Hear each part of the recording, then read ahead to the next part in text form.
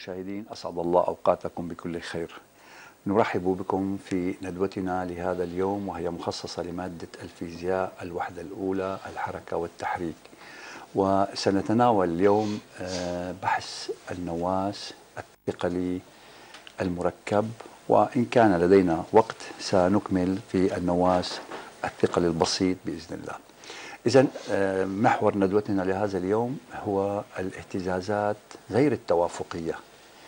أتمنى من آه، أبنائنا الطلبة ومن آه، من يتصلون أن تكون الأسئلة محدودة ومحصورة في هذا البحث لتكون الفائدة أكبر وأعم وستكون الندوات شاملة بإذن الله للكتاب بكل أبحاثه المقررة فيه. بداية آه، أعزائي اسمحوا لي أن أرحب بضيفي الزميلين أستاذ غسان إبراهيم الموجه اختصاصي تربية ريف دمشق الأستاذ زياد رحمون المدرس في تربية طرطوس. أهلا وسهلا. بكما في ندوة اليوم. آه، طبعا آه، في كل درس نحن نعرج على ما هو الجديد كيف تناول الكتاب الدرس في ندوتنا المخصصة للنواس الثقلي المركب. أستاذ غسان. ما هي القضايا التي تناولها هذا الدرس؟ يعني أستاذ بشار مساء الخير لك وللطلبه الأعزاء ولجميع المشاهدين. آه، النواس المركب يأتي آه، بالترتيب هو النواس رقم ثلاثة في بحث الحركات الاهتزازية هذا البحث يعني بعد النواس المرن ونواس الفتل وصلنا إلى التي كانت تمثل حركات توافقية وصلنا إلى الحركات غير التوافقية نعم. سندرس مثالا عليها النواة الثقلي المركب حقيقة هذا البحث بداية يعني يبدأ بتعريف النواس الثقلي المركب نعم. وهذا ضرورة بالنسبة لأبنائنا الطلبة أن يتعرف على النواس من حيث التوصيف لهذا النواس نعم. لأن النص قد لا يذكر أن هذا النواس مركب أو فتل أو مرن أو بسيط هو من التوصيف لهذا النواس.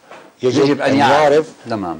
يحدد أولا ما ما هو النواس الذي هو أمام حل إشكاليات هذا النص آه، ثم تطرق البحث لدراسة آه، الحركة بشكل عام أي في الساعات الكبيرة وتوصل إلى أن الحركة غير توافقية لأن نتج لدينا معادلة تفاضلية لا تقبل حلا جيبيا لأنها ربطت بين المشتق الثاني لتتا وستتا ثم انتقلنا إلى الساعات الصغيرة حيث استخدمنا قانون التقريب. عندما تكون تتا أقل من 14 درجة أو أقل من 0.24 آه، هذا لو تساوي بالراديان طبعا. بالراديان 0.24 راديان.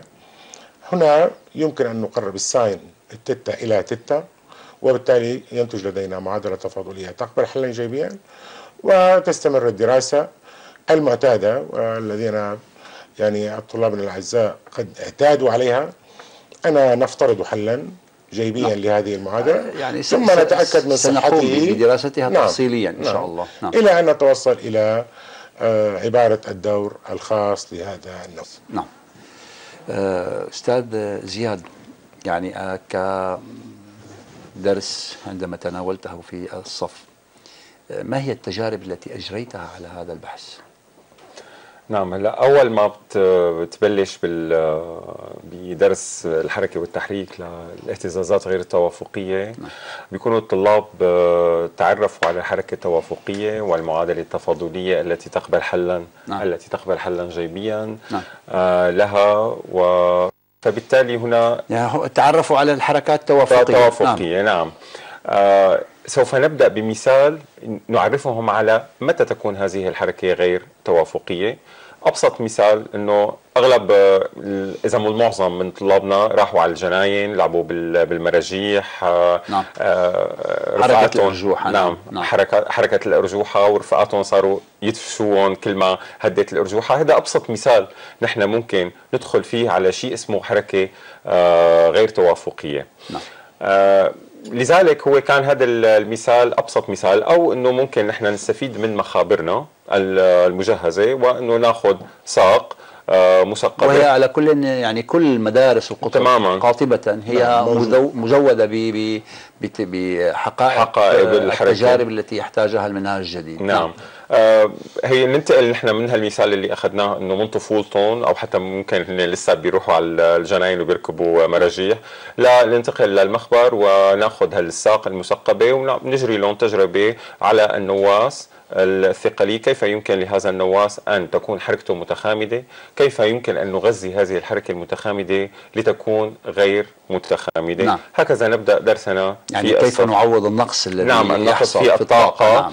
لي- لكي تعاود ال- الحركة من جديد بنفس نعم. السعة آه، أنا مجهز ال- البداية حتى في تجربة الساق المثقبة أستاذ بشار يعني نحن نستطيع آه، بمنتهى الوضوح أن نعرف النواس الثقل المركب نعم نعم لأن النواس الثقل المركب عندما نريد أن نتحدث عن محور الدوران وعزم العطالة فهي أوضح صورة للطالب أمامه عندما نعلقها من طرفها من ربعها من مسافة إلى ستة ثم نعلقها من مركز الثقل أو مركز نعم. العطالة نلاحظ أن هنا لم يعد الحركة لم تعد الحركة اهتزازية وبالتالي الطالب. لوحده نعم. لوحده يستطيع أن يتعرف على تعريف وهذا الثقل المركب وهذا ما أتى به المنهاج الجديد نعم. حين آه، آه، آه، اشار بكل وضوح إلى آه، ال- الأنشطة العملية التي يجب على الطالب أن يقوم بها نعم وذكر المثال في أكيد، الكتاب أكيد، ذكر. المثال في الكتاب لذلك بس آه، كمدخل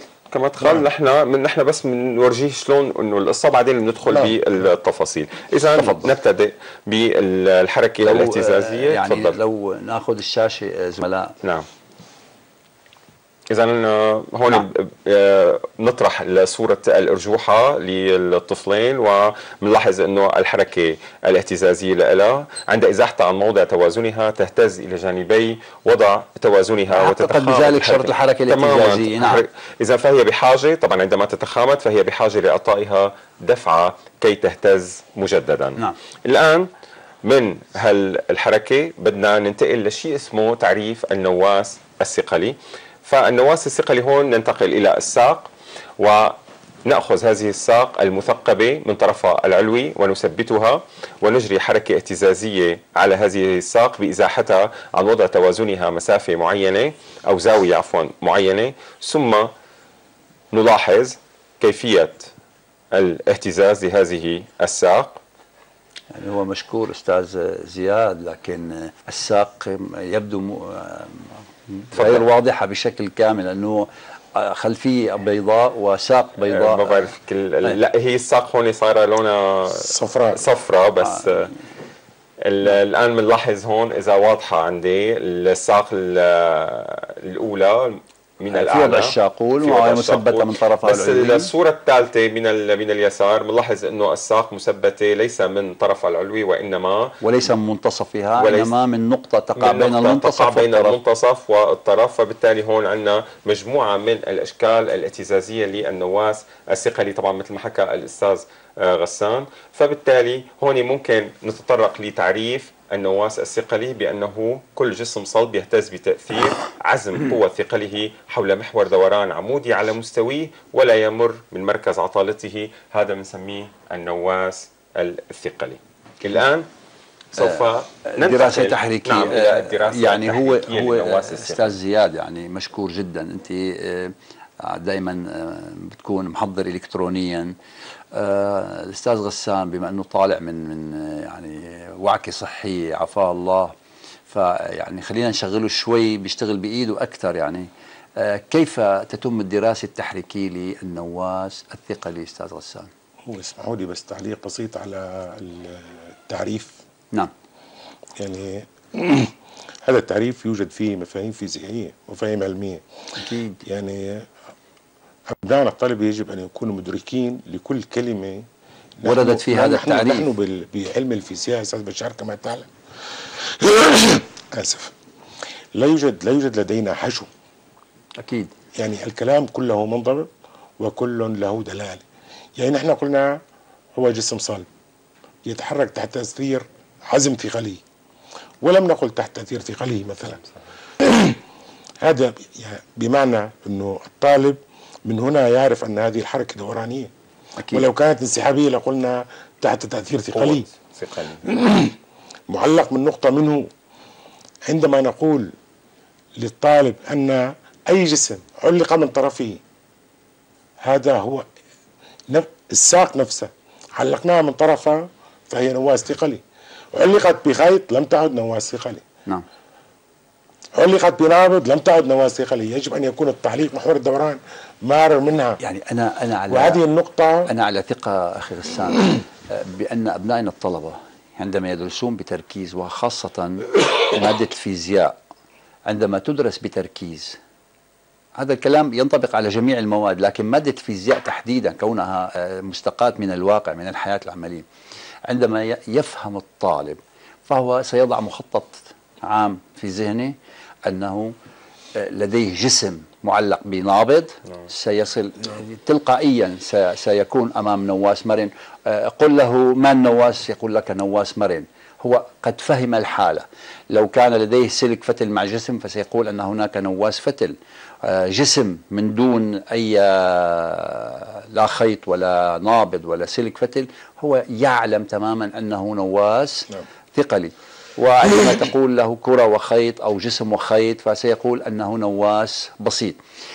يعني ما أريد أن أقوله بهذا الكلام أن ال- ال- الطالب عندما يدرس ليفهم فهو سيدرس كل تفاصيل العبارات التي آه، لديه. وهي جميعها وردت. أكيد يعني وردت معه أكيد سابقاً. وردت. يعني هو آه، يعني يربط بين مفهوم القوة والحركة وبين مفهوم عزم القوة والدوران. اذا هو قد فهم الفيزياء فتلقائيا يفهم أن الحركة جيبية دورانية يفهم أن عزم الثقل هنا هو يمثل عز- عزم الإرجاع وبالتالي آه، آه، آه، هذا الجسم يقوم أو يت- يتحرك بحركة دورانية وعندي أنا بدلا من القوى هناك عزوم القوى لأنه نعم. هو استقى من صف أدنى من معلومات سابقة لدي أن عزم هو الفعل التدويري للقوة في الجسم. نعم تفضل. إذا أردنا أن نتحدث عن الدراسة التحريكية للنواة الثقلي يعني بداية على ال- الطالب عندما يبدأ بدراسة هذا البحث أن يحدد ما هي الجملة المدروسة نعم ما هي جملة المقارنة ما هي القوى الخارجية المؤثرة نعم. على هذه الجملة ثم يجب أن يكون مدركا هل يطبق العلاقة الأساسية بالتحريك الانسحابي كما قلنا أم العلاقة الأساسية بالتحريك الدوراني كما هو واضح على الشاشة أن لدينا جسما معلقا من طرفيه فإن الجملة المدروسة هو الجسم الصلب. هذا الجسم الصلب تؤثر عليه قوتين تؤثر عليه قوتان. قوة الثقل ترسم من مركز ثقله باتجاه الأسفل وقوة شاقوليا نحو الأسفل. شاقوليا نحو نعم. الأسفل نعم. وقوة رد الفعل عند نقطة التعليق. نعم. طبعا الآن نطبق العلاقة الأساسية بالتحريك. الدوراني.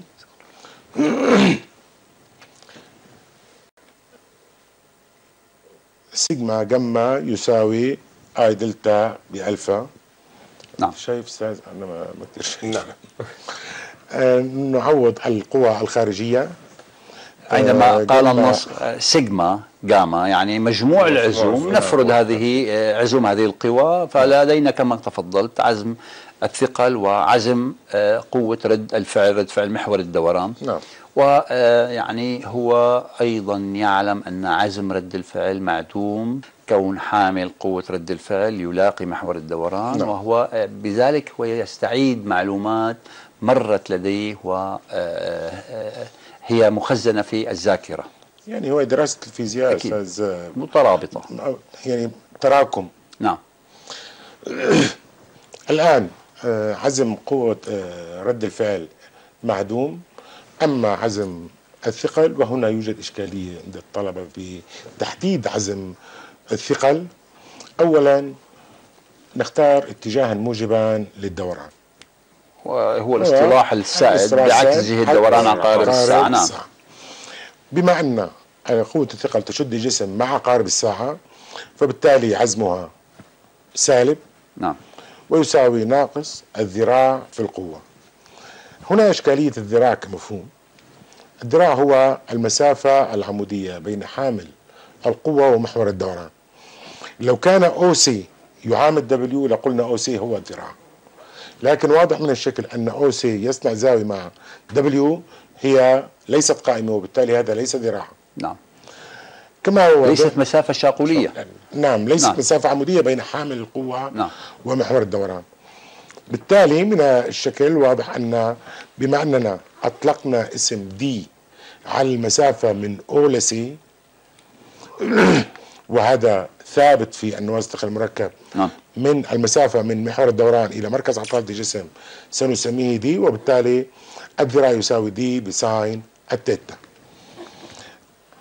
يصبح gamma W يساوي ناقص d ب sine ال theta ضرب W اللي هو m ب g بإصلاح العلاقة بشكل بسيط محل ألفا نكتب تيتا فتحتين بالنسبة للزمن ينتج يعني لدينا التسارع الزاوي نعم، هو المشتق الثاني. للفاصلة الزاوية ويعلم ذلك. من نعم. نواس الفتل نعم بالتالي يصبح لدينا تيتا فتحتين t يساوي ناقص m ب g ب d على I delta ب sine ال theta هذه معادلة لا تقبل حلا جيبيا وبالتالي الحركة دورانية لا جيبية أي غير توافقية وبذلك نكون قد آه، قمنا بدراسة تحريكية لنواس الثقل آه، أخي زياد يعني آه، كثير من الطلبة يصلون إلى هذه النقطة يقفون.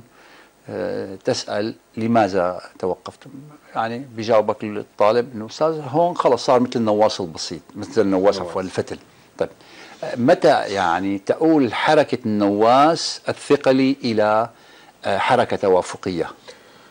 عندما ظهرت لدينا آه، ساين الزاوية تتا في المعادلة التفاضلية نعم. فنحن قد درسنا سابقا من دساتير التقريب بأنه يمكن أن يلبس الجيب بالزاوية عندما تكون الزوايا صغيرة أصغر من 14 درجة أو أصغر من 0.24 راديان نعم. عند ذلك يمكن أن نجري هذه التجربة على الساق نفسها اللي نحن استخدمناها أو ممكن أنه نكمل العمل الرياضي نعم. فكيف تصبح حركة النواس الثقلي من أجل آه، السعات الزاوية الصغيرة التي تكون فيها تيتا أصغر أو تساوي 0.24 راديان؟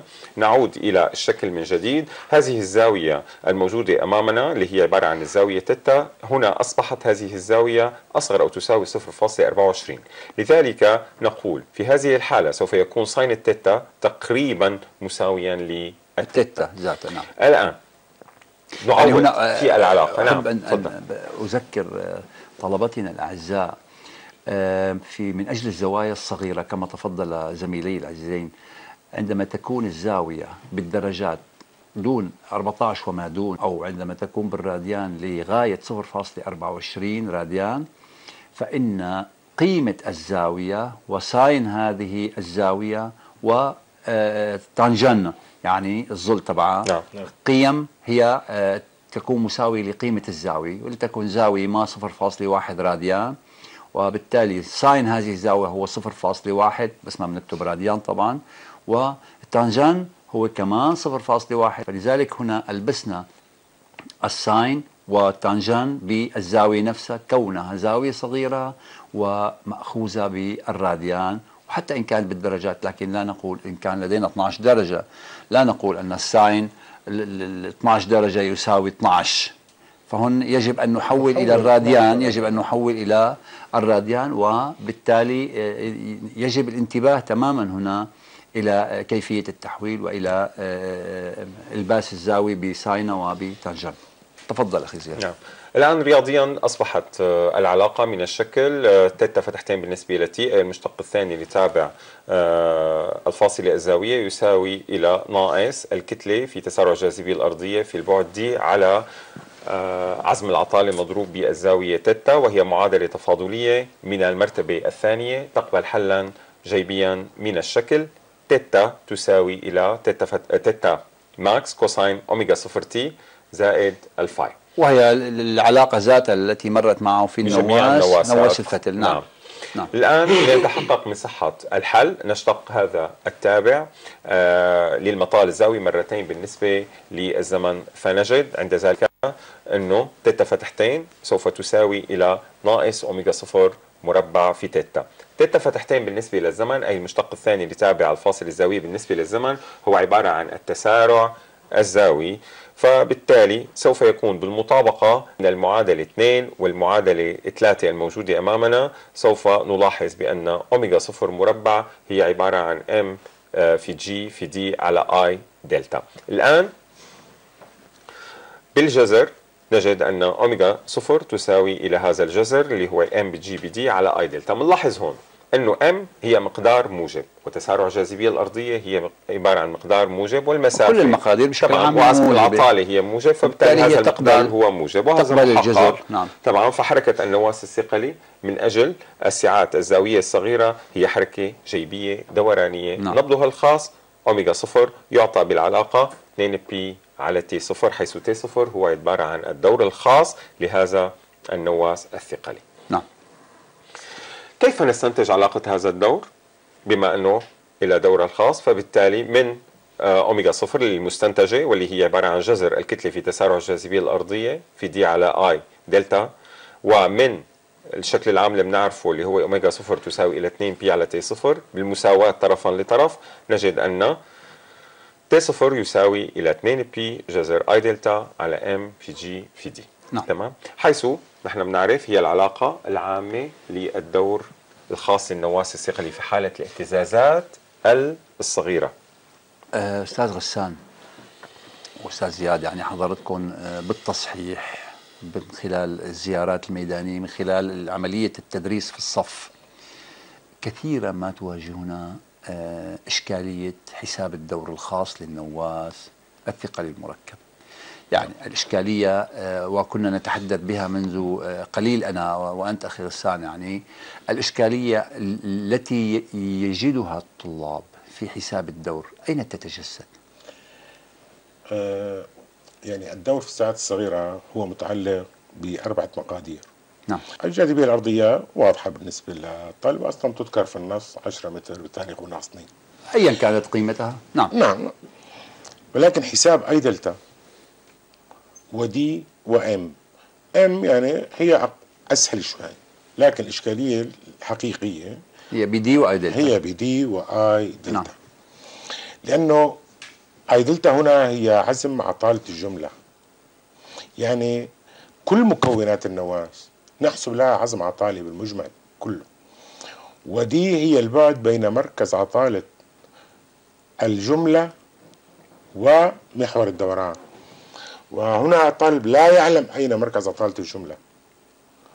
بالتالي إن استطاع أن يمسك بتفاصيل حساب عزم عطالة الجملة وديل الجملة يعني تقريبا الأمور بتكون صارت سهلة جدا بحل مسألة النواس الثقلي المركب لنجعله وخاصة يمسك أخي المفاتيح وخاصة أخي بشار أستاذنا أنت إنه هذه المقادير سيستخدمها طيلة الحل نعم نعم. يعني في في كل جميع طلبات. الطلبات. طلبات. نعم في كل طلبات المسألة. نعم.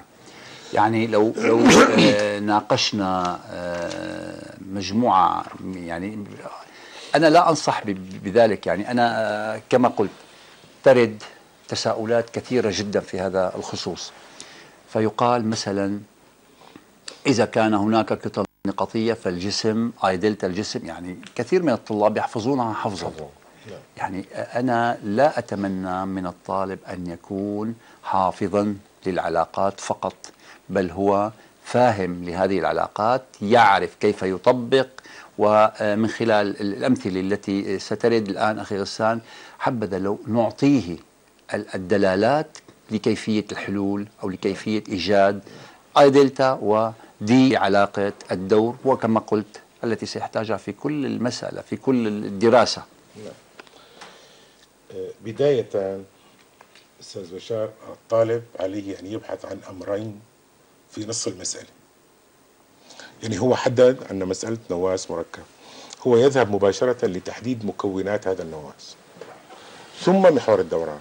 نعم. هذين الأمرين لا يجوز المساس بهما. النص كفيل أن يقدم هذه المعلومات للطالب.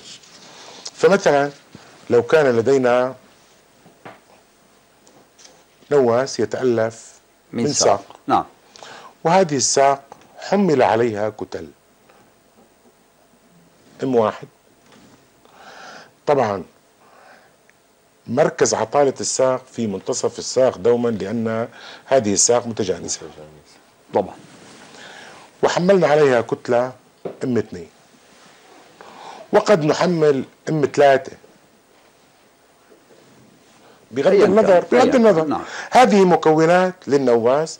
هذه أنا حصلت عليها من نص المساله نعم. بقي أن أبحث عن محور الدوران. محور الدوران أيضا يحدده النص. قد يقول النص أن محور الدوران يمر من منتصف الساق قد يقول النص أن محور الدوران يبعد 5 سم مثلا عن الطرف العلوي أو النهاية العلوية للساق يعني هنا أنا أرسم حالة عامة. نعم. هذا هي أو النقطة التي يمر منها- محور الدوران وهذا هو دلتا.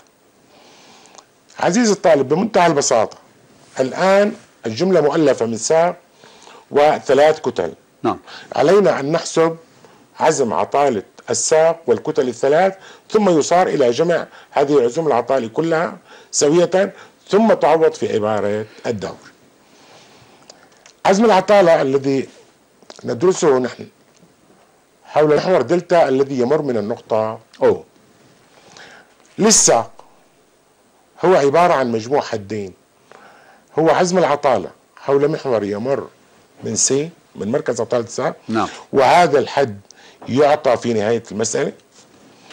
نحن نضيف ام ب أو سي للتربيع. وأنا قصدي ما كتبت دي هناك بعض الطلبة يعوضون هنا دي هو ليس خطأ وأنا- ولكن حتى ما لا يتم الخلط بين دي النواس ودي الساق. فلنكتب ام بي أو سي وأنا أقصد هذه المسافة. وما تفضلت به صحيح لكن أيضا لكي لا يفهم الطالب أن أو سي هنا هي سي مركز عطالة الجملة. لا هو مركز هو- عطالة اذا الساق إذا لنكتب أو سي فتح سي مركز عطالة الساق بس نص نظرية هايجنز لو تماماً. بتذكروها الطلاب نص نظرية هايجنز. هي بتقول إنه العزم العطالي لجملة تدور حول محور لا يمر من مركز عطالتها يساوي إلى عزم, عطالة حط آه، حول هذا- محور يمر من المركز نعم، مضافاً إليه مضافا إليه جدا- كتلة هذه جدا- الجملة في مربع البعد بين المحورين. المحورين، تماماً. فبالتالي هون نحن بنكون آه، يعني هنا كما تفضل هو هذا. الحد زميلي العزيز هذا الحد هو حد هايجنز. هايجنز تماما صح. تماما. لكن نحن نريد أن نجعل الأمور أكثر وضوحا. تماما. يعني لو كتبنا دي هون قد يشكل على الطالب أنها دي مش موجودة في العلاقة. ال- يعني في, الدور. عنها. نعم. هي ليست دي الدور. ولذلك لذلك قلت لك نكتب أن OC و- تكتب أن تكتب أو سي فتحة وليس أو سي. يعني كي لا يفهم الطالب ان أن سي هي مركز يعني نحن نرمز في في ال- ال- المسألة دائما ل آه، مركز العطاله الجمله ككل نرمز له سي نعم. هذه نبتعد عن فتحة، سي أو نعم. سي فتحة. أو سي فتحة. أي. للتمييز لأنه يوجد لدينا مركزي. عطالة. نعم، نعم. مركز عطالة الساق ومركز عطالة النواس. هلا من إم واحد لاو هي آر واحد. منتهى البساطة. من إم من أو لام ثلاثة هي آر ثلاثة. من أو لآ لام اثنين هي آر اثنين. وجداء الكتلة بمربع البعد. ما هيك يا أخي؟ هاي دلتا حول أو. لإم واحد يساوي إم واحد أستاذ واحد. لو لو قليلا للاعلى للأعلى ونعم يعني لي- لي- ليرى الطالب بوضوح. نعم. نعم. هاي دلتا. أيضا حول المحور دلتا المار من أو لإم 2 يساوي إم 2 بآر 2 للتربيع. والكتله الثالثة بنفس الطريقة. نعم. فأنا بهذا الشكل أنا لا. أكترث نعم. إذا كان هناك كتلة ثلاثة كتلتين. أم خمسة. نعم, نعم. لا يهم بشكل منفصل كل واحد نعم. ام ثلاثة بآر للتربيع ثم يتم التعويض ويتم الجمع لحساب آي دلتا الجملة. اذا هنا أخي زياد عندما وضع غسان آه، بعزم عطالة ال- ال- ال- ال- ال- الساق.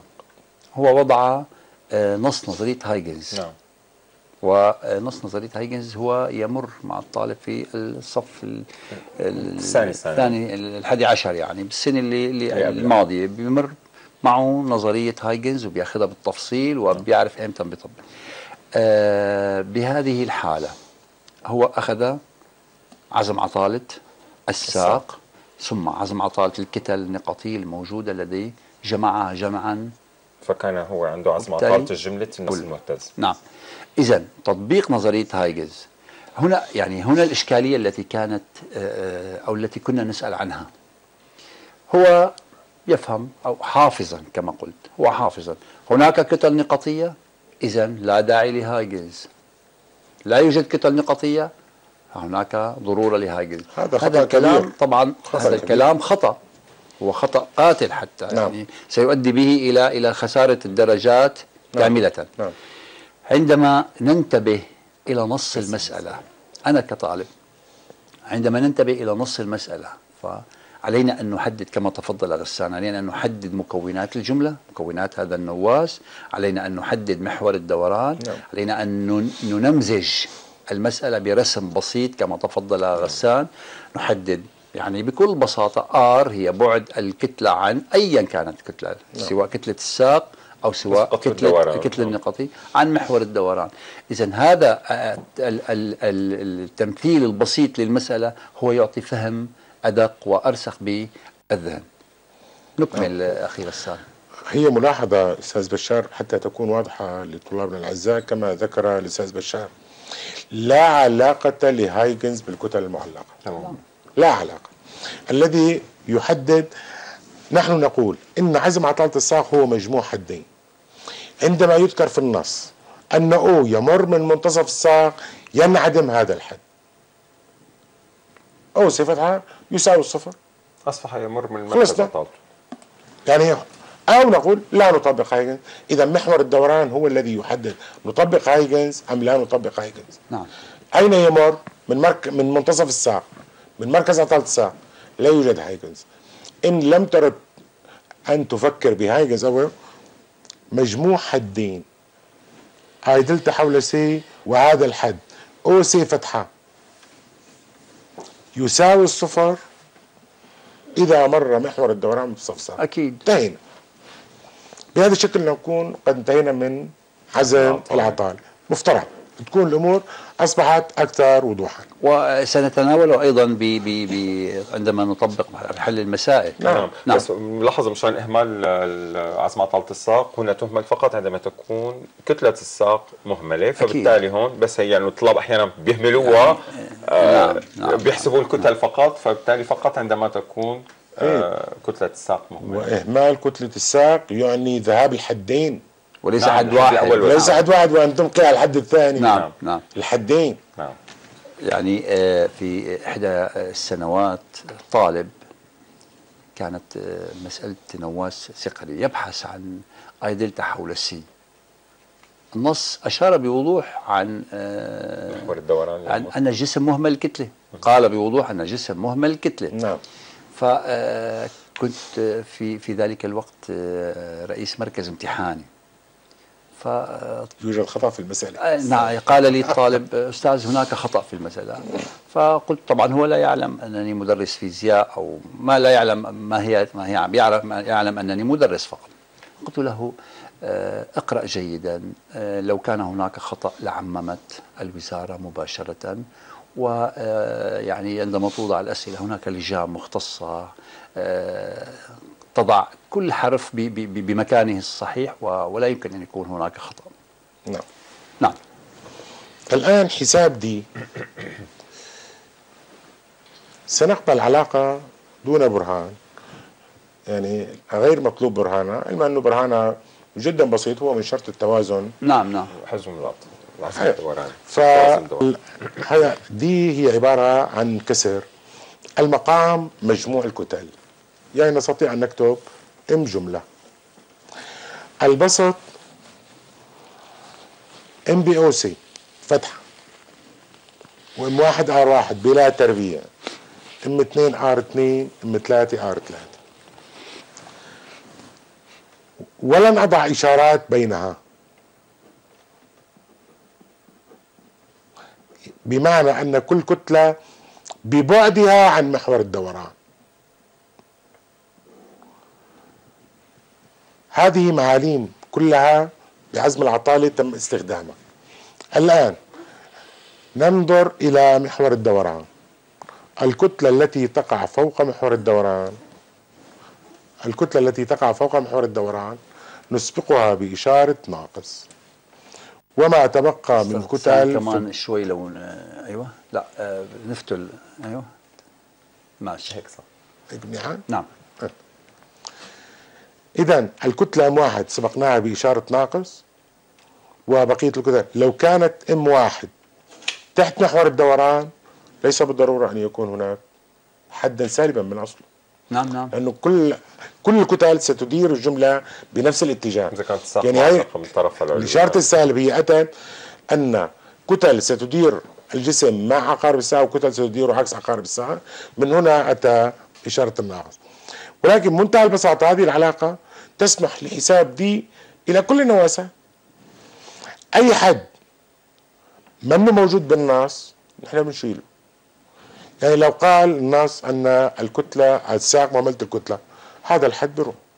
لم يعلق أم واحد هذا الحد لم يعلق أم اثنين بنلغي هذا الحد بمنتهى البساطة. وأم الجملة هي محسوبة. مجموع الكتل نضعها هنا ويصار الحساب دي. أم تساوي أم الجملة طبعا. تساوي أم الساق زائد أم واحد زائد أم اثنين زائد أم ثلاثة. ملاحظة يا أستاذ بشار هنا أن مركز عطالة الجملة غير محدد. دي هي من تحدد مركز عطالة. نعم نعم نعم. يعني نحن نحسب اولا. دي ثم نحدد مركز العطالة الان دي بفرض أن هذه الساق متر طلعت 60 سنتي باجي بقيس من أو 60 سنتي لتحت وبحط سي جملة. لذلك عندما قال الأستاذ أن محور الدوران لا يمر من مركز عطالة النواس هو لا يقصد سي فتحة هو يقصد سي. هذا المحور لا يجوز أن يمر من c لأنه لو مر من c لانعدمت d. نعم. واذا انعدمت بال d لم يبقى لدينا نواس. يعني أصبحت الحركة دورانية دورانية. وليست اهتزازية نعم. نعم هون هون ال- ما حكى الأستاذ آه، غسان إنه فينا نأخذ الساق اللي اخذها شاقوليا والنقاط التي تقع فوق المحور والنقاط التي تقع أو الكتل التي تقع تحت المحور. نحن بنأخذها بشكل أفقي. أفقي وبنصير زياد يعني هو آه، أخذ الساق شاقوليه بالنسبة لي ولك لكن بالنسبة لابنائنا الطلبة هي قد تكون آه، أفقية. يعني هي افقيه قد تكون. هيك تمام. هيك آه، فبتصير سهل اسهل عليهم يحددوا إنه مين السالب ومين الموجب. أستاذ غسان يعني عم يكتب بالميل. نعم. الكتلة التي تقع فوقه هي من تأخذ اشارة السالب نعم. نعم نعم. لأنها هي من ستقوم بتدوير الجسم بجهة عقارب الساعة وليس بعكس جهة دوران عقارب أستاذ الساعة. بشار هلا. عندنا محور الدوران. نعم. كتل تحت وكتل فوق. أنت تستطيع أن تعطي ناقص لل حسب فوق محور. الدوران أو تحت. ولكن إذا أعطينا ال- اللي تحت محور الدوران اشاره ناقص تطلع دي سالبة. وعندها سيكون لدينا توازن قلق والتوازن القلق سيعود إلى التوازن توازن المستقر مستقر. نعم بالتالي نحن نأخذ ما تحت محور الدوران موجبا موجبا وما. فوقه سالبا نعم يعني أبعاد الكتل التي تقع تحت المحور نعوض لها بقيم موجبة وأبعاد الكتل فوق محور الدوران نعوض عنها بقيم سالبة نعم. نعم. زياد يبدو. أنك تريد تضيف شيء. تفضل. لا كنت حابب أنه ناخذ مثال تطبيقي على. على ال- الكلام اللي انحكى. اذا المسألة. المسألة تطبيق. رح ناخذ ساق نواة ثقلي مؤلف من ساق متجانسة. طولها 0.375 متر وكتلتها ام معلقة من طرفها العلوي بمحور أفقي عمودي على مستويها الشاقولي. نزيح الساق عن وضع توازنها الشاقولي زاوية صغيرة تيتا أصغر من 14 درجة ونتركها دون سرعة ابتدائية. استنتج بالرموز العلاقة المحددة للدور الخاص انطلاقا من العلاقة العامة للدور الخاص للنواس الثقلي المركب ثم احسب قيمتها علما أن عزم عطالة الساق حول محور عمودي على مستويها ومار من مركز عطالتها هو I delta بالنسبة ل c يساوي إلى 1 على 12 m L مربع. الآن بنلاحظ الرسم الموجود أمامنا اللي هي عبارة عن الساق. ذي الطول L تساوي 0.375 عندما نزيحها بزاوية تيتا ونتركها دون سرعة ابتدائية فمعناتها أنا هون صار عندي الزاوية هي عبارة عن theta max الآن نبدأ بالعمل. نعلم أن الدور الخاص للنواس الثقلي يعطى بالعلاقة T صفر تساوي إلى 2 pi جذر I delta على m في g في d والآن مثل ذكر الأستاذ غسان نحن رح ندور عن I delta والكتلة m والبعد d لحتى نقدر قبل قبل ما ندور في في. إشكالية كمان عندنا عند الطلاب تفضل. يعني آه عندما آه يرد في نص السؤال انطلاقا من العلاقة العامة لدور النواس, النواس. الثقلي المركب نعم. استنتج علاقة بالرموز نعم. لدور هذا النواس ثم أحسب يعني كثير من الطلاب إما أن يعوض بالأرقام وهذا نعم. خطأ. نعم. غلط. عندما قال لك النص استنتج بالرموز أي أنك أمام علاقة بالرموز. يجب أن أستنتج علاقة بالرموز ومن خلال هذه العلاقة أعوض.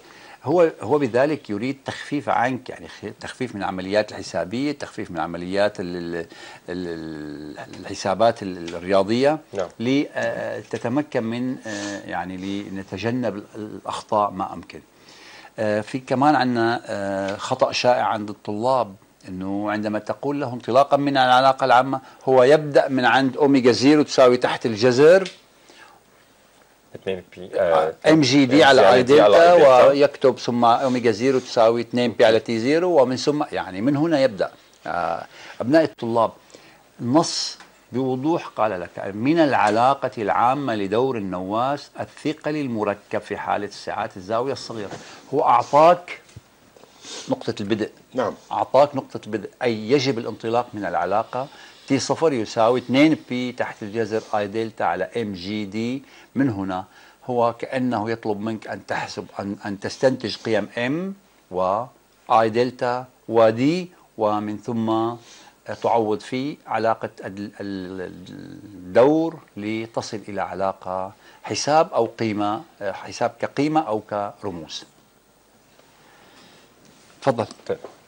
الآن نبحث عن I delta. إذا لإيجاد عزم عطالة الساق حول المحور المار من النقطة O نطبق نظرية هايجنز بالشكل I delta للجملة لجملة النواس تساوي إلى I delta c لمحور مار من مركز ثقله مضافا إليه كتلة هذا النواس في مربع البعد بين مركز ثقل ومحور الدوران. فمنلاحظ هون على الرسم شو رأيك أخي زياد نلاحظ. بعد فاصل آه، قصير آه، أعزائي. الطلاب أعزائي الطلاب فاصل قصير نتابع من خلاله مواعيد الندوات اللاحقه ونعود إليكم من جديد فابقوا معنا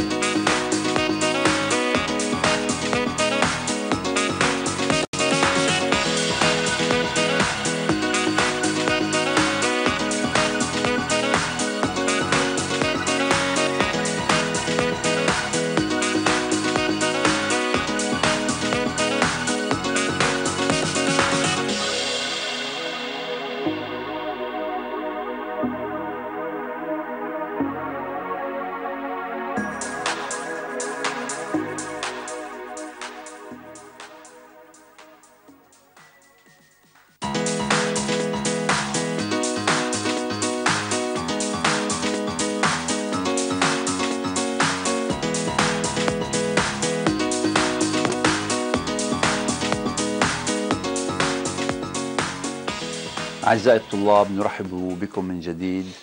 آه، كنا قبل الفاصل قد آه، بدأنا بتطبيق مثال على آه، ما تفضل به زميلي العزيزين. أرجو أن نتابع مع الزملاء في الحل... لن أقاطعك أخي زياد. تفضل. أنا بدي أقاطع. تفضل. نعم. يعني, يعني من يمينك ويسارك. نعم. نعم. اي دلتا. الموجودة على الشاشة كان لازم تكون موجودة على الشاشة. نعم. نعم. أضفنا m بديل التربيع. لو, أضفنا m بديل لو آه، التربيع. نأخذ الشاشة آه، هنا. هنا هنا الآن d منطبق هو نفسه. هي هو نفسه. OC نعم. نعم. نفسها. جملتي هي الساق فقط. وبما أنه الجملة هي الساق فقط فينطبق سي على سي فتحة. اذا هون هي d نعم. وهي OC اذا هون فقط هون الساق غير مثقلة بأي كتلة نعم. فبالتالي عزم عطالتها حول آه، محور آه، دوران يمر من آه، طرفها العلوي يساوي إلى عزم عطالتها اللي مار من مركزها بالإضافة إلى الكتلة في مربع البعد بين المحورين وهون صاير هو عبارة عن ال d اللي هو نعم. آه، البعد بين مركز الثقل ومحور الدوران الآن لاحظنا إنه هي d تساوي إلى L على 2 نصف طول هذه الساق بتطبيق العلاقة. طبعا المعطاة I delta C هي 1 على 12 m L مربع وهي عزم العطاله حول محور يمر من مركز العطالة. مضافا إليه الكتلة في مربع البعد d واللي هو عبارة عن L على 2 بالحل نجد أن I delta هو عبارة عن تلت m L مربع. هيك بنكون حددنا نحن آه، عزم العطالة I delta. الآن ننتقل إلى قبل التعويض. قبل أن نعم. نعم. هلا نحن لو عدنا إلى ما كتبناه هنا. نعم. نعم. هذا المثال. نعم. لم يعلق كتل فهذه الحدود لا داعي لها. نعم. نحن توقفنا هنا وعوضنا الاثنين دي هذه الكتل لم آه، تكن موجودة. حذفت. نعم. بقي لدينا ام بي سي فتحة على ام الساق ام الجملة هي ام الساق. نختصر يبقى دي تساوي أو سي فتحة وهي أو سي ال هنا. ال وهي ال 2 وهي. سي اللي هي ال إذا على هذه القوانين انطبقت هنا جميعها. نعم. صحيح اذا نعوض الآن اي دلتا بالقيمة آه، الموجودة بالبسط اللي هي عبارة عن تلت ام ال مربع m هي كتلة الساق وهي موجودة مثل ما حكيت الاستاذ غسان ما في عندنا كتل غير كتلة آه، الساق تسارع الجاذبية الأرضية و d اللي هو يمثل نصف طول الساق إذا نجد أن آه، T صفر تساوي إلى 2 pi مضروبة بالجذر 2 L على 3 3 g نعم. الآن بالحساب نعوض 2 مضروبة بطول الساق اللي هي 0.375 على الكتلة اللي هي عبارة عن 3 مضروبة ب 10 فنجد بأن الدور سوف يكون مساويا لواحد ثانية هذا مثال آه، بسيط على اللي تفضلت عليه أستاذ غسان على حساب آه، أنه كيف نستطيع حساب دور نعم. نواس ثقلي انطلاقا من تحديد آه، كل من عزم عطالته وكتلته والبعد دي والله لو نقاش بسيط في تفضل. في عبارة الدور. نعم يعني عبارة الدور الآن نتجت 2 pi تحت جذر L على g. يعني ما العوامل المؤثرة في الدور في هذه الحالة؟ هي 2 L 3 g. على 3 g. نعم. ما العوامل المؤثرة فيما لو سئل هذا السؤال لطالب بعد الاستنتاج؟ ما العوامل اكتب العوامل المؤثرة في دور هذا النواس. واضح من العلاقة أن هناك تناسبا طرديا بين T صفر وجذر L وتناسبا عكسيا مع جذر الجي طبعا هنا الطالب يعرف أن جي تتغير إذا تغير المكان. نعم. الارتفاع. بالارتفاع الارتفاع. نعم. بالارتفاع. أو بتغير خط ال- العرض أيضا. نعم. يعني تغير جي بتغير المكان. يعني ولكن فيما لو سئلنا عن الكتلة. أستاذ بشار وتحاورنا سابقا. يعني أنه الكتلة هنا لا علاقة لها. لذلك اختر إجابة صحيحة. كانت في الكتاب السابق أننا جعلنا الكتلة أربعة أضعاف. ماذا يحصل بدور النواس؟ دور النواس لا يتغير. نعم. يعني آه، آه، أخي غسان أنا كما قلت منذ البداية عندما يدرس طالب ليفهم هو سيجيب عن كل التساؤلات التي ترد أيا كانت طبيعة السؤال. هو توصل إلى علاقة؟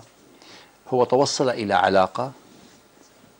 هذه العلاقة 2 pi تحت الجذر 2 L على 3 g بالتالي يعني من خلال المحاكمة من خلال محاكمة بسيطة سيرى الطالب أن ال m الكتلة ليست موجودة في علاقة الدور في هذه الحالة وبالتالي إن كانت ام هي واحد كيلوغرام أم أربعة كيلوغرام أم مهما مهما كانت قيمتها لن تغير لن تؤثر على قيمة الدور ما يؤثر هو انطلق من العلاقة. ال وجي ال هو ال ال الطول الساق وجي هي تسارع الجاذبية الأرضية. وهو يعلم أنه عندما نجعل الساق نصف ما كانت عليه سيكون الدور قد آه، آه، نقص بمقدار جذر اثنين.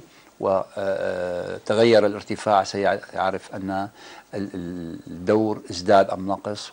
يعني عندما يدرس طالب ليفهم هو آه، ليس بحاجة لمن يقول له انتبه إلى هذه العلاقة من خلال العلاقة ما هو ما هي العوامل ما هي هو عبارة عن عملية فهم لمعطيات النص أو للدرس سيصل إلى نتيجة أكيد إيجابية وسيجيب عن أي تساؤل كان.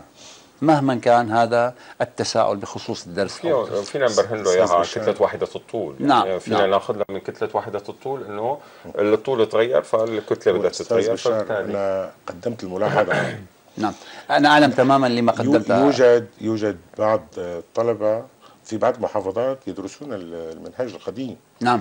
وهناك نحن وصلنا ما أنا كما قلت في إشكاليات حول هذا الاختر الإجابة الصحيحة فوددت أن أضيء على نعم. سؤال الكتاب للحل مشكور أخي غسان يعني أنا آه، قد وضعت الحالة العامة. نعم. أيا كان كتاب منهج قديم أم من منهج آه، مطور يعني الطالب عندما يكون أمام علاقة رياضية يجب أن يحاكم هذه العلاقة. نعم. أنا آه، في علاقة دور النواس الثقلي المركب. هناك ام نعم. I delta على m g d هناك m هو سيتناسب عكسا مع الجذر التربيعي لكتلة الجملة ولكن هو إيه، قد يغفل أحيانا أن I delta أيضا تحوي كتلة الجملة نعم. نعم. يعني هي بداخلها هناك m آه، نعم.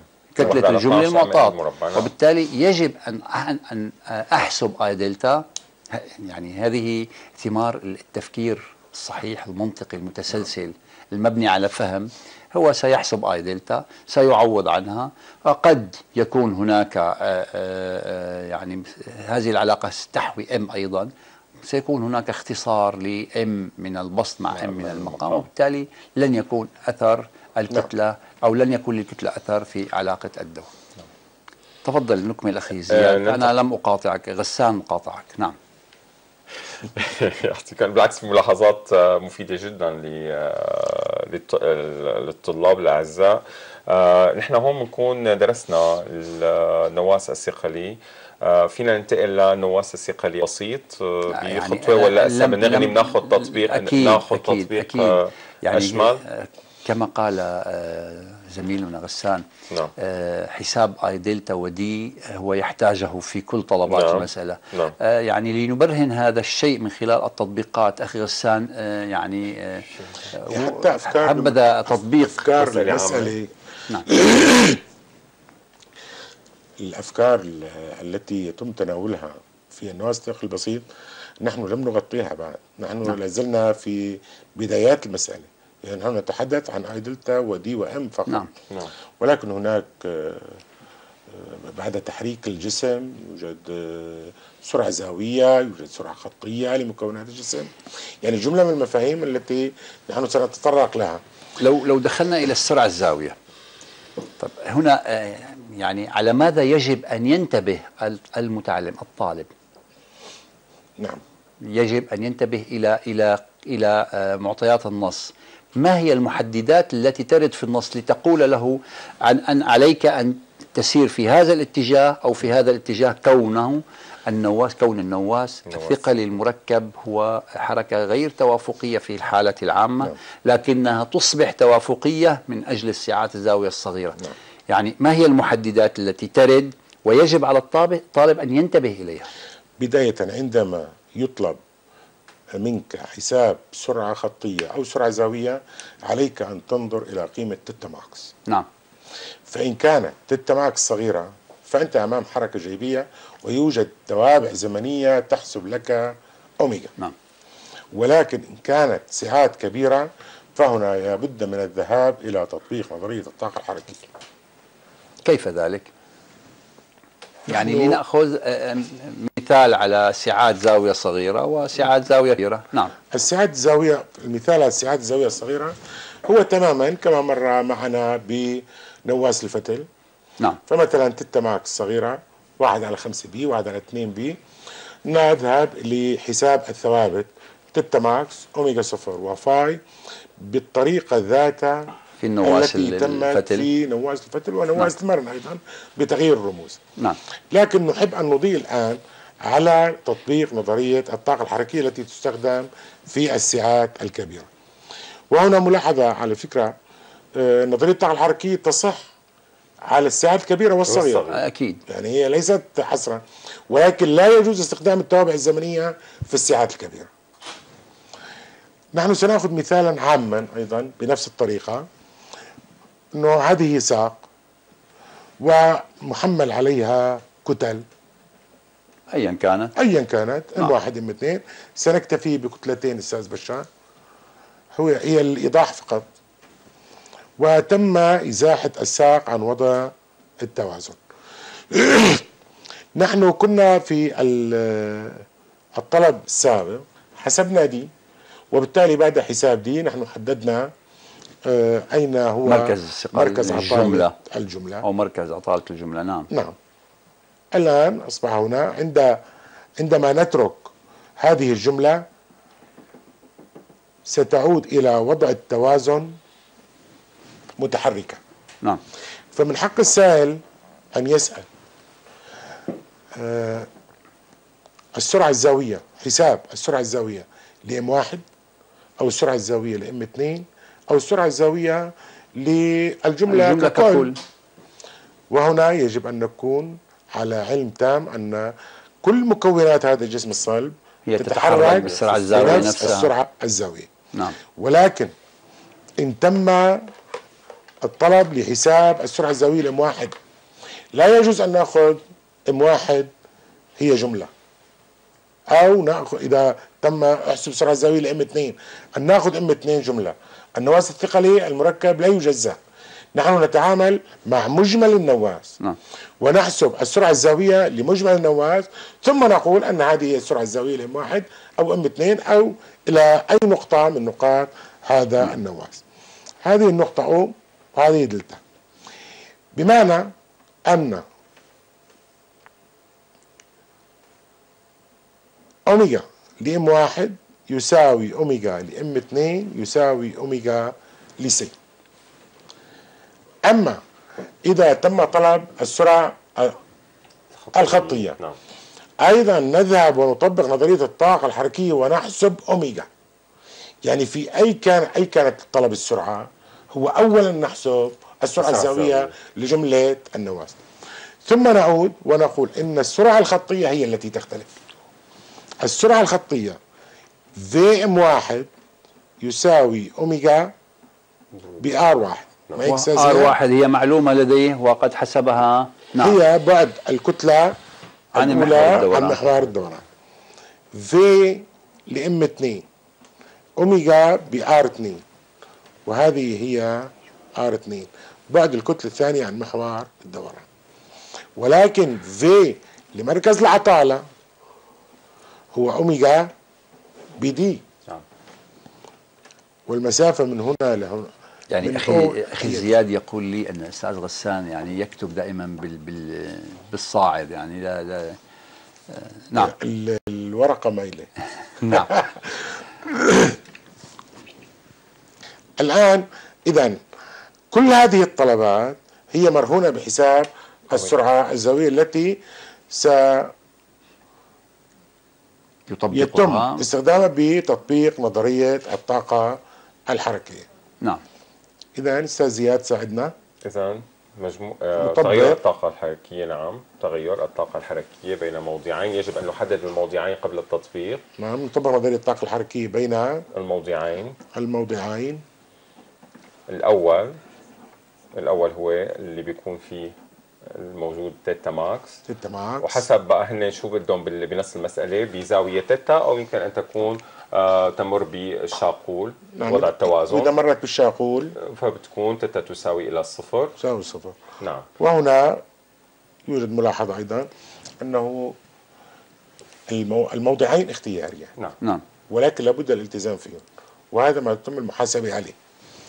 الآن؟ عندما نأخذ الوضع الأول هنا والوضع الثاني هنا في الشاقول. إن عمل دبليو هو عملا موجبا. ولكن عندما نعكس ال- الوضعين عمل معين بده يصير عمل معيق وبالتالي لابد من ظهور يعني سالب قلت أن الوضعين اختياريين. ولا بد الالتزام بهما. آه، يعني الوضعين أنا كطالب ماذا أفهم من من هذا الكلام؟ والأخير. أنني أستطيع أن أختار أي وضعين لا على التعيين ولكن النص طلب مني حساب السرعة الزاوية في موضع مطاله تتا أو صفر ايا كانت قيمه اذا أنا كطالب يجب أن أتقيد بأوضاع التي أعطيت في نص المسألة ليصبح الحل ل- ممكن. إذا أنا كطالب صح أنني مخير في اختيار الوضعين. لكن آه، ما قصده آه، غسان أن ال- الطالب هو آه، حر.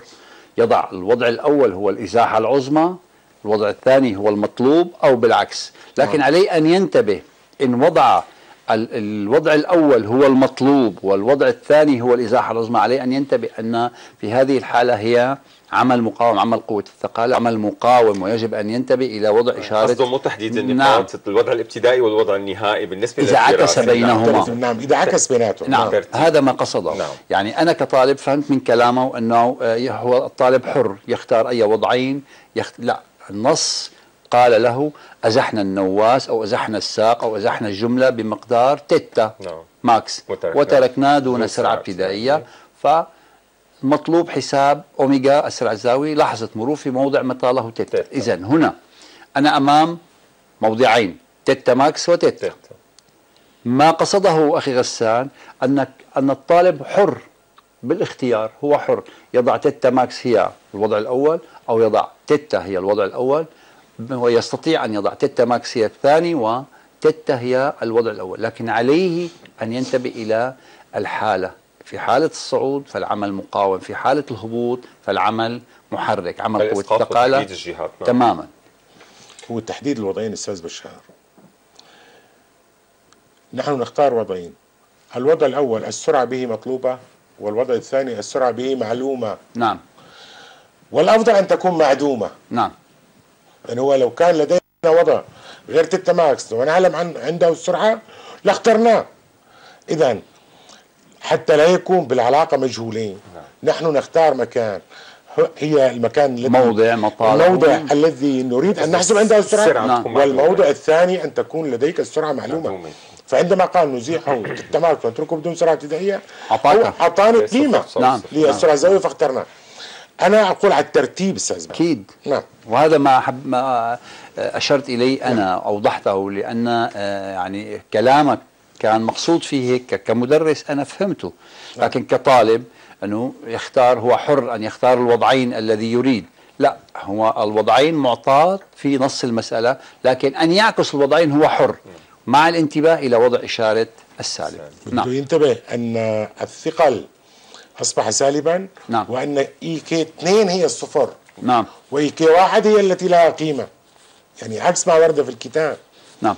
لذلك يعني اسلك الطريق الأقل وعورا. نعم.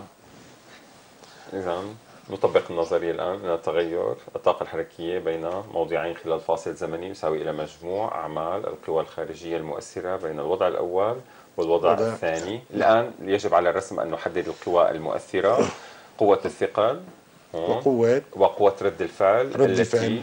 نعم في تحدد في مركز في- الدوران. في مركز دوران. الدوران نعم. و ناخذ آر على امتداد الساق أستاذ بشار بعدها إذا حد بشكل هي منقط دائما. دائما. دائماً. هي, هي تؤخذ بشكل. منقط نعم. لأن آه، يعني قوة رد الفعل هي قوة متغيرة دائما. نقطة تأثيرها ساكنة. ولكن هي قوة متغير مت- متغيرة الحامل والجهة. جهة. متغيرة الحامل والجهة. اذا نرسمها بهذا الشكل. نعم. خط منقط على امتداد منقط الساق. على امتداد نعم. الساق. نعم. ونبدأها من أو. نعم. يعني هو حتى الطالب تكون واضحة أنها تماماً. تمر من محور الدوران فعزمها معدوم. الطالب حر يرسمها من محور الدوران في أي اتجاه ولكن بشكل منقط لأنه هي ليست لي- ثابتة. لأنها ليست ثابتة الجهة. نعم. نعم. الآن EK 2 ناقص EK 1 تساوي إلى عمل قوة الثقل بالإضافة إلى قوة رد الفعل. نعم. طبعا هون نحن مباشرة فينا آه نجعل إنه EK 1 تساوي الصفر لأن الحركة بدأت من السكون وأيضا عمل قوة رد الفعل أيضا يساوي إلى الصفر وذلك لأنه آه هي عمودية على الانتقال في كل لحظة. والله لأن نقطة تأثيرها لا تنتقل. لا تنتقل أيضا. وهذه لأن الجملة تركت. يعني أخي غسان. الله يكون بعون الطالب اللي عم بيقرا وراك يعني والسرعة ابتدائية طلاب فهمانين. يعني الله يجيك تليفون نعم. بقول لك نحن فهمنا. يعني هو التعليل لابد لابد أكيد. منه. نعم. لا التعليل يعني لا يوجد لا يوجد شيء آه، عشوائي أو اعتباطي بالفيزياء. نعم. علينا أن نسند لماذا قلنا أن عزم وهي حقيقة هنا الفيزياء يعني. عندما آه، كتب الطالب عزم نعم. آه، رد الفعل يساوي الصفر يجب أن يعلل. لماذا؟ يعني ليست من المسلمات هي ليست قانونا وليست نظرية فيجب أن يوضح لماذا انعدم عزم رد الفعل. نعم. لو تحذيرك هون أستاذ بشار كثير مهم هذا. إنه أنا في عندي تعليل لانعدام عزم رد الفعل وعندي تعليل لانعدام عمل رد الفعل. أكيد. ولا يجوز التبديل بيناتهم. نعم. الخلط بيناتهم؟ هذا الخلط نراه كثيرا في في النواس الثقل البسيط. بسيط. نعم. عندما آه، يطلب آه، قوة توتر نعم توتر، نعم. عمل قوة توتر فيكتب الطالب وأخطاء أخطاء شائعة جدا نعم. يكتب W T يساوي الصفر لأن نقطة تأثيرها لا تنتقل ومن أين يبدأ؟ نعم. ومن أين يبدأ؟ أكيد. يعني شو بده يشتغل هو هل سوف يطبق نظ... آه، قانون نيوتن الثاني أم هل سوف يطبق نعم. نظرية الطاقة الحركية؟ هون الأخطاء اللي بتكون كثير فهذه من الأخطاء الشائعة نعم الآن EK 2 الحركة طبعا نص. هي نص I دلتا أوميجا مربع. آه، تساوي. تساوي إلى ام في جي. في اتش الآن سوف نبحث اتش عن نعم. الآن نحدد على الرسم لو سمحت أستاذ. ناخذ يعني أول شيء ما. هي اتش نعم. يعني ال- العمل هو القوة في الانتقال. نعم. نعم. بس انتقال مين؟ نقطة تأثير القوة. على حامل القوة. نعم أكيد. إيه؟ في بعض الطلاب. يظنون أنه هو انتقال الجسم. هو ليس انتقال الجسم. قد ينتقل. الجسم ويكون للقوة عمل صفر نعم نعم. يعني بفرض أن السيارة تسير على طريق أفقي. عمل الثقل انتقل من مكان لمكان ولكن صفر نعم قيمته صفر نعم معدوم. لذلك نحن سنأخذ يعني أتش هي المسافة بين C و C. بس على الشاقول يعني نعم. بين نقط في موضعي C ولكن على الشاقول يعني حسب تعريف العمل أيضا هي اللي بت... العمل القوة التي تسبب انتقال نقطة تأثيرها نعم. تمام على هون. على حاملها وبجهتها وهون ال... كمان عمل قوة الثقل ما له علاقة بالطريق المسلوك فهو نعم. يتحدث فقط بالضبط. بالموضعين وهذا البدائي وهذا والنهائي. ما مر معه أيضا كله إن هذا مر عمل معه طبعاً. قوة الثقاله لا يتعلق يعني بالطريق عكس. المسلوك وإنما بالوضعين الابتدائي والنهائي نعم. والمسافة الشاقولية بينهما نعم الآن. إذا اتش وضح الآن؟ نعم صحيح. على ويحسب رياضيا. الآن هذه تيتا max. وهذا مجاورا لها. نعم. وعندي الطول ال- d ب cosine التيتا max. تماما. والطويل هو؟ إذا d نعم. ناقص d, d ب cosine التيتا max. max. ونخرج d عامل مشترك فيكون يبقى لدينا تساوي نص I دلتا دلتا اوميجا مربع يساوي m ب g ب d في بواحد ناقص cosine cosine تيتا max. التيتا max. يعني هون الحل أستاذ زيد لهون يجب أن يكتب في جميع الطلبات نعم. نعم. من هنا تبدأ. حسب بقى شو هن طالبين منا نعم. بقى. هل؟ هل؟ لأنه قد قد يطلب تيتا max. نعم. ويعطي سرعه خطيه نعم. من السرعة الخطية نستنتج السرعة السرعة الزاوية. ثم نعزل cosine على طرف. وقد يعطي تيتا max فمن هنا نعزل أوميجا. وإن كان السؤال أستاذ بشار استنتج بالرموز عبارة أوميجا. هنا لا يجوز تعويض قيم عددية. قيم عددية. علينا أن نعوض. I دلتا بالرموز و m بالرموز بالرموز. ال ال ال ال الثوابت فيه. وهناك سؤال شائع. دائما الطلاب بيسألوا إنه أنا أستاذ لا- لايمتى بدي ضل أكتب بالرموز؟ لا يعني أنا لوين الرمز اللي بدي إياه؟ مثلا نعم. هل أنا أكتفي ب اتش مثلا هون؟ هل أكتفي ال- المعادلة إنه أوصل لعند اتش ووقف طب هنا إذا كانت قيمة اتش معطاة بنص المسألة فأنا هي معطى إذا وصلت يجب يجب. يجب, عليه أن يستنتج حتى يصل إلى معطيات النص نعم، تمام. يعني بعد الاستنتاج يوجد تطبيق عددي. نعم صحيح. لا يوجد حسابات هذا هو السؤال الشائع إنه دائما إنه أنا لامتى بدي أشتغل لحتى توصل لكل معطيات المسألة اللي معطيات هي- القانون بمعطيات النص اللي موجود. وقتها بكون أنا وصلت على ال- المطلوب مني كاستنتاج نظري اذا هنا عزلنا أوميجا تحت جذر 2 m ب g ب d. بواحد ناقص cosine تيتا max على I دلتا ثم يصار إلى التعويض. وبعد حساب السرعة الزاوية يمكن أن نحسب أي سرعة خطيه أستاذ بشار هنا تحدثنا نحن أن الخطأ في دي كارثي. نعم نعم. إنه الآن السرعة الزاوية في, كل معطيات النص تكون ستكون. موجودة نعم. وبالتالي إذا أراد أن يحسب في ففيك أيضا غلط. يعني هو يتابع له هناك يعني الطلبة يقولون أنه نحن نخسر لمرة واحدة ثم يتابع لنا لكن. التعويض في علاقة غلط غلط. لكن التعويض في عبارة خاطئة. نعم. لا يعني لا ينال الدرجه أكيد. نعم. آه، يعني كما تعلمون في ال- الامتحانات وأثناء التصحيح وأثناء مناقشة السلالم كثير من الأخطاء الشائعة نراها بالأوراق. يعني كأن يطبق أنتم- أنتم تفضلتم بتطبيق نظرية الطاقة الحركية الآن.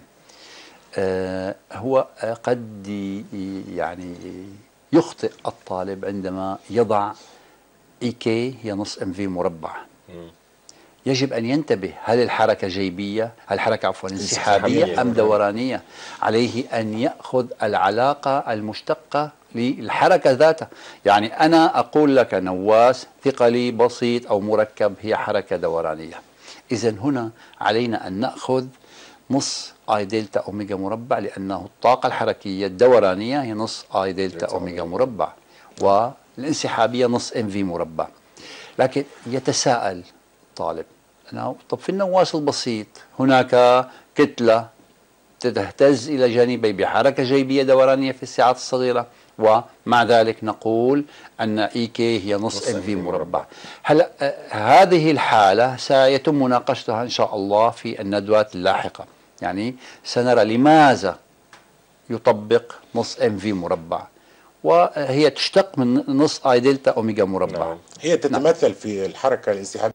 إذا كان المتحرك هو نقطة مادية أكيد. فتتماثل نص I delta omega مربع مع تصبح- نص تصبح هي نفسها. ولكن حركة الكرة وليس النواس أكيد حركة الكرة هي انسحابية قولا واحدا وبالتالي يمكن أن نطبق عليها نص m v حتى بالنواس الثقلي في بعض التطبيقات طالبين سرعه الخطيه للكتلة السرعة تحدثنا الخطية. تحدثنا بالسرعه نعم. الخطيه ولكن سي سيستنتج اولا آه، السرعه السرعة الزاوية ثم نعم ثم ينتقل السرعة. إلى السرعه الخطيه لكن السرعة هنا. في النواس الثقلي المركب تعويض E k بنص m v للتربيع. هو خطأ. هذا خطأ كبير. وغلط علمي. والحساب عليه يعني تخسير الدرجات كبير. أيضا. يخسر كل شيء. أيوه. يخسر ف- كل شيء هون يعني. مسموح الغلط. أكيد يعني هنا عندما آه، استخدم علاقة آه، غلط فبالتالي التعويض في علاقة غلط الحركة. غلط وبالتالي لن ينال درجات. إن كان آه، قد أصاب في حساب اي من المقادير سيأخذها في طلباتها لن يأخذها في هذا الطلب وبالتالي سيخسر علامة الطلب كاملة. نعم. نعم. آه، ما ما هي الإضافات التي يمكن أن نضيفها إلى مسائل النواس الثقلي المركب التي أتت في أتى بها الكتاب أخي زياد؟ آه، في عندنا مسألة من المسائل العامة اللي تتحدث عن قرص. نعم. هو آه، ب- آه، حقيقة ويوجد يعني مسألتين عامات حلوين. أي هو لم يتبقى وقت لحل مسألة. ولكن أفكار. علينا علينا نوضح علينا نوضح نضيف- أفكار رئيسية. نعم. عن آه، القرص. لم نتحدث عن القرص ولم نتحدث عن الدور في الساعات الكبيرة. نعم. صح الدور في الساعات الكبيرة أمرين صح. آه، يجب أن نتحدث بهما. أخي زياد تفضل. مساعدتك. هذا قرص. نعم. أنا بس كنت حاطط قد يأتي نعم، القرص تفضل. محلقا من منتصفه من أو من طرفه. منتصفه أو من محيطه. يعني محور الدوران كما قلنا يحدده النص. فإن كان هذا ال- النواس يتألف من قرص فقط. نعم. وقال أن معلق من نقطة من محيطه. الآن هذا مركز عطالة القرص. خزياد هذه نقطة من محيطه. نعم. وهذه نقطة من محيطه نعم. وهذه نقطة من محيطه. ولكن عندما نرسم نرسم محور الدوران على شاقول النقطة سي نعم. لأن كيفما علقناه سنحصل على توازن مستقر. نعم وبالتالي نأخذ نصف القطر. نأخذ أو هنا. I delta. بالنسبة لعزم العطالة الآن محور الدوران لا يمر بمركز القرص. وبالتالي علينا أن نطبق هايجنز. نعم. I delta. حول O. يساوي I delta. حول C. زائد m. أيضا ب OC للتربيع. نعم. بدلا من d. علما علما أن d هي OC هنا. وهي r نصف القطر نعم. ولكن لو تم تحميل كتلة الآن هنا. نعم. OC لم تعد d نعم. صحيح. لذلك نحن نقول OC والأستاذ بشار اقترح علينا أن نسميها OC فتحة وأنا معه حتى نميز بين C و C فتحة. لأن هذا مركز عطالة هو ليس وليس مركز عطالة. وليس مركز عطالة هو الجملة. سيقع مركز عطالة الجملة سيقع بين الكتل وأقرب إلى الكبرى دوما. نعم. نعم. نعم. إذا الآن بما أنه حمل كتلة الآن نضيف حد فتحة جديد. نعم. ببعد عن محور الدوران. والذي هو القطر كاملا. القطر كاملا. 2 r يعني 2 r للتربيع. وهنا OC تساوي r. نعم يعني نستبدل هنا قيمة OC فتحة ب r. ب r في العلاقة. لأن كتلة القرص تعتبر في مركزه, مركزه. نعم. وبعد المركز عن المحور المحيط. الذي هو في المحيط هو نصف القطر تماما. نعم. نعم.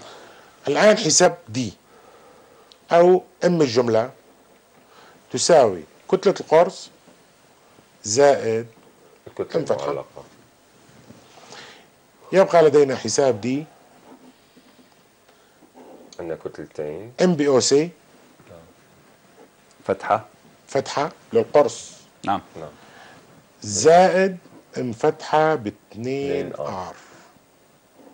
على ام إم الجملة طبعا وضعنا إشارة الزائد هنا أخي غسان أخي زياد كون. الكتلتين. الكتلتين تحت المحور نعم. الكتلتين تحت المحور نعم الكتل كلها جميع نعم. تحت المحور تحت محور كلهم موجبين ونعوض أرقام ونحسب I delta و m و d ثم نذهب إلى عبارة الدور يعني هناك أيضا يحدث آه، سوء فهم يعني أعتقد ذلك أخي زياد بالنسبة للطالب يعني r في الساق و r في القرص. هل r الساق هي r القرص؟ نقصد نصف يعني الدوران. نحن نقصد ب r هنا بعد. مركز. بعد الكتلة المعتبرة الكتلة المدروسة عن محور الدوران. نعم. r دائما وابدا نرمز له بالبعد بين محور الدوران والكتلة المدروسة. فإن كان قرصا ف r هنا هي تمثل في حالة قرص يعني المثال الأول اللي تفضلت فيه. فهنا القرص آه، r القرص هي نفس r نصف قطر القرص ذاته. نعم وفي المثال الثاني ال- ال- الواضح أمامنا على الشاشة أيضا هنا آر للقرص هي نصف القطر وللكتلة هي ضعف نصف. القطر أو هي القطر كاملا.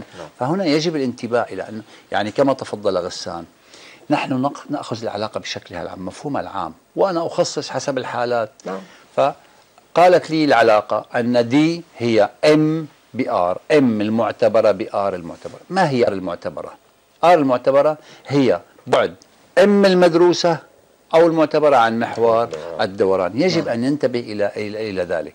نعم زياد. لذلك لذلك قلنا لا يجوز المساس بمحور الدوران. أكيد. محور الدوران أساسي في المسألة. والنص- كما يذكره النص علينا الالتزام به. لنتابع مع. أخي زياد. نعم. بالنسبة لل حكى الأستاذ عن ال- الاهتزاز في النواسات الكبيرة السعات نعم، الاهتزازية الكبيرة وليس الاهتزاز هو لم يتكلم عنها هو قال ذكر- سنتكلم نعم. ذكرها نعم لذلك آه عندنا آه هون في عندي خط آه، بياني بس نعم. بيمثل إنه كيف ممكن إنه يتغير الدور مع تغير آه، سعات ال- آه، الزاوية نعم.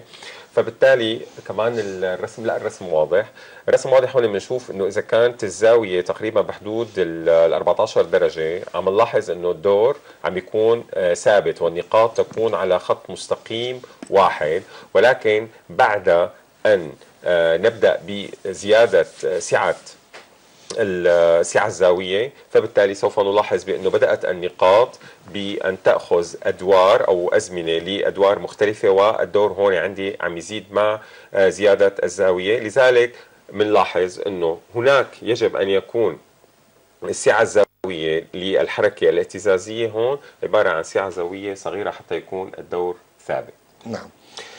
يعني هو المقدار الثابت دائما عندما نرسمه بيانيا نرسمه بخط مستقيم. فالطالب عندما نظر إلى الخط البياني وشاهد القطعة المستقيمة هذه تعبر عن دورا ثابتا نعم. في السعات الصغيرة.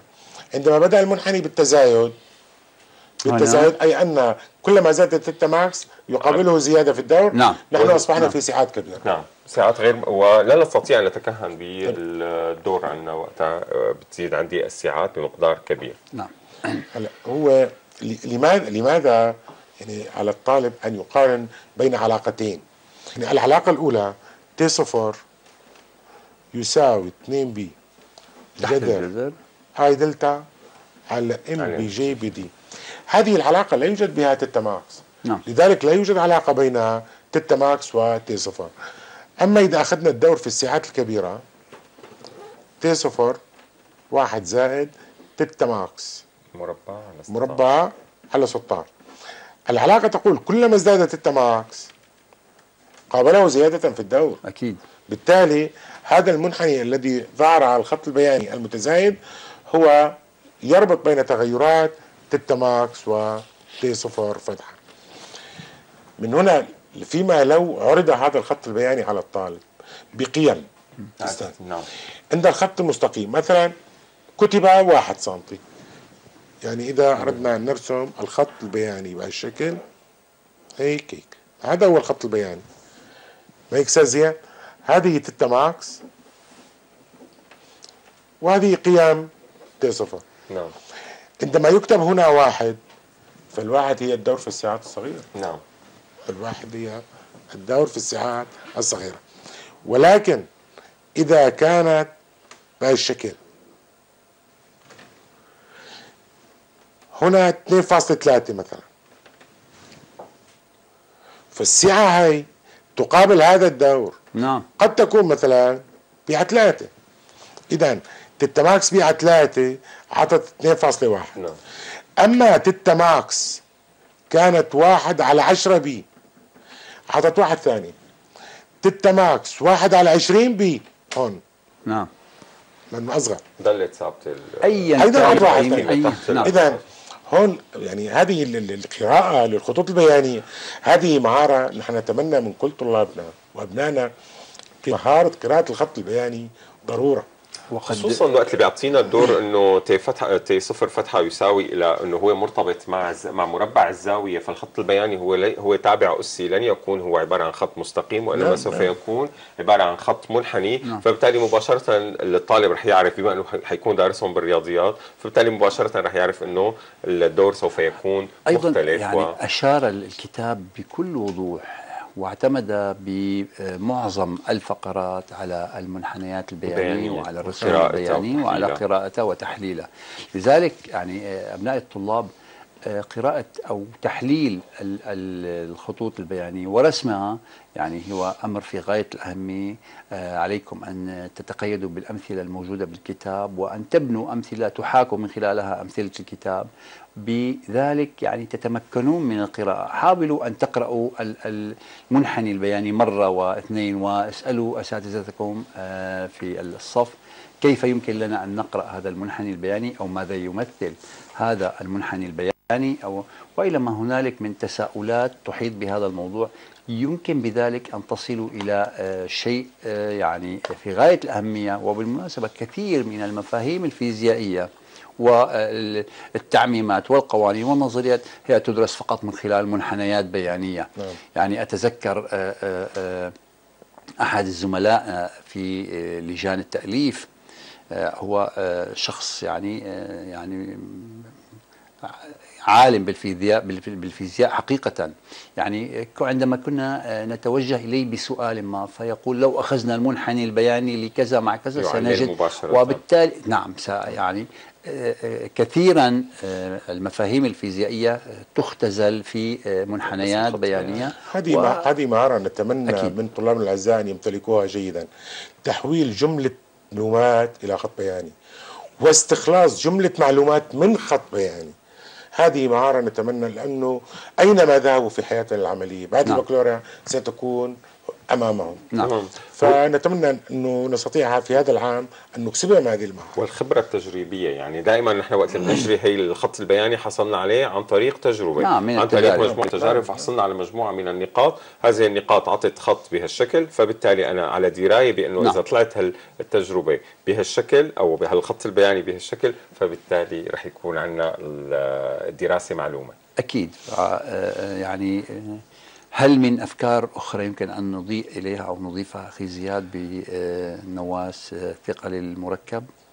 أنا بعتقد بنكون أحطنا ما بعرف الأستاذ غسان دائما فقط فكرة أنه إذا يعني وسنأتي عليها أو زملائنا سياتوا عليها في نواس بسيطه هي مسألة التوافق بين بين نواس ثقل بسيط ونواس ثقل مركب. آه لكن هذا هذا يعني هذا سنتركه. هذا السؤال يعني يؤخذ بالتزامن مع النواس. ثقل يعني هذول النواسين مرتبطين تماما وبالتالي بهذا الشكل أكيد. نكون إن شاء الله قد وفقنا بتقديم الفائدة إن شاء الله. طلابنا الأعزاء. يعني أنا آه، من خلال ما تفضلتم به أنا كطالب أعتقد أن معظم الطلاب من أبنائنا آه، بدراستهم للفيزياء ليفهموا.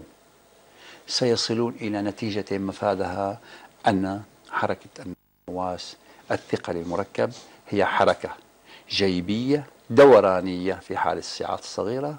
وهي ليست جيبية في حالة السعات كبيرة. علي أنا كطالب أن أفهم أن الحد الفاصل بين الصغير والكبير هو 14 درجة أو 24% راديان. وبالتالي أنا بذلك أكون أمام يعني إيه، توضيح للمفاهيم. فإن كانت السعات صغيرة فعلاقة الدور كما تفضلتم وأوضحتم هي T صفر يساوي 2 pi تحت الجذر I delta على mgd وإن كانت السعات كبيرة أيضا علاقة الدور هي T zero ولكن مضروبة بواحد زائد تيتا مربع max. على 16 أيضا علي أن أحسب الدور في حال السعات الصغيرة. نعم. وأنتبه في هذه العلاقة أن theta max هي زاوية بالراديان وليست بالدرجات. نعم. يعني عندما يعطي النص احسب قيمة الدور من أجل theta max تساوي 30 درجة. علينا أن لا نضع 30 درجة في البسط ونربع. بشار بشكل عام. نعم كل الفيزياء. يعني في كل الفيزياء في كل المواضيع التعامل مع الزوايا هي الراديان. قيم بالراديان. نعم. حصلا آه من من ثم آه أعزائي الطلاب كان آه لدينا توضيح لمفاهيم أو لثوابت الدور كيف نستنتج قيمة اي دلتا كيف نستنتج قيمة دي وام الجملة. آه، أيضا مررنا بسرعات الزاوية. هنا بسرعة الزاوية. هنا آه، أعود لأقول من جديد علينا أن نميز بين السعه الكبيرة والسعه الصغيرة. في حال السعات الزاوية الصغيرة يجب أن ننتبه لأن التابع الزمني للسرعه الزاوية هو من يعطيني قيمة السرعة. الزاوية. ولكن في حال السعات كبيرة علينا أن نطبق نظرية الطاقة الحركية بين موضعين. وكما أشاروا زملائي يجب أن أختار الموضعين المعطيين في النص. نعم. ولكن أنا حر. أعود إلى ذلك أنا أعود أنا حر في ترتيب الوضع الأول والثاني مع الانتباه إلى عمل الثقل في حالة الصعود وفي حالة الهبوط. آه، أتمنى بذلك أعزائي الطلاب أن نكون قد قدمنا كل ما فيه فائدة وخير لكم ونكون قد ساهمنا بإيضاح بعض المفاهيم التي آه، فيها آه، لبس وغموض. قبل أن أودعكم آه، أشكر زميلي آه، غسان إبراهيم الموجه اختصاصي في تربية ريف دمشق شكرا. زياد رحمون المدرس في تربية طرطوس. والشكر كل الشكر للزملاء العاملين خلف الكاميرا وفي الاستوديو والفنيين إجمالا. الشكر الأكبر لكم أعزائي الطلاب على صبركم وأتمنى أن نلقاكم في ندوة لاحقة.